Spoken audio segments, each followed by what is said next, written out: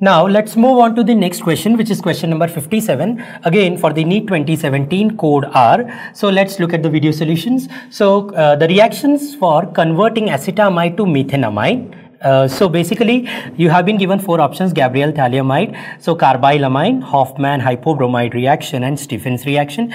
Gabriel phthalimide this is the incorrect answer because this is basically for the preparation of primary amine containing same number of carbon atoms. I mean if you could see here acetamide is basically CH3 C double bond O NH2 and methanamine is basically CH3NH2, right? So that means if you could see here, one carbon is reduced. So Gabriel phthalimide is basically for preparation of primary amine from alkyl halide right from alkyl halide and then carbylamine is basically formation of isocyanides okay which is detection test. And if you could see Stephen's reaction this is nothing but reduction reaction. So the only option which is left out is Hofmann hypobromide reaction. So let's have a look at the reaction. So what exactly happens?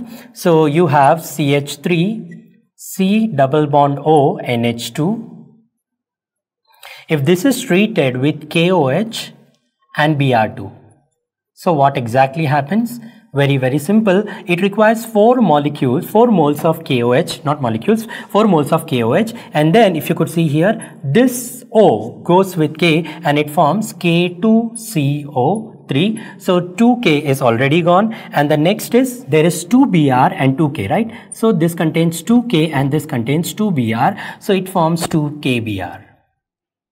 2KBr and then we'll be left out with methanamine that is CH3 NH2 and balancing the number of water molecules. So if you could see here, uh, so if you could see here, this oxygens have already taken care of the water molecules. So it's basically 2H2O mm, because if you could see here, there is 4 hydrogen and again 3 uh, 3 plus 2 is 5 right? Here it is 4 oxygen plus 1 oxygen yes.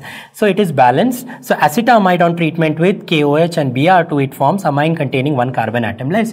Now the question is why is this hypobromamide written? So basically KOH reacts with bromine Br2 to form KBr plus KOBr plus H2O right? So this is pretty much simple. You need 2 moles of water over here right? So uh, this is nothing but potassium. You can also use sodium hydroxide potassium hypobromite.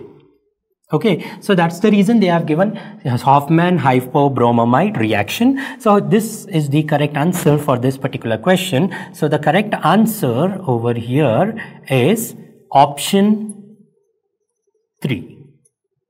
Okay, normally Hofmann bromamide reaction is used for the conversion of an amide to an amine containing one carbon atom less. So if you could see Stephen's reaction if you are going to use this CH2 could be converted to this CO can be converted into CH2. So this is not the correct answer. So the correct answer for this particular question is option number 3.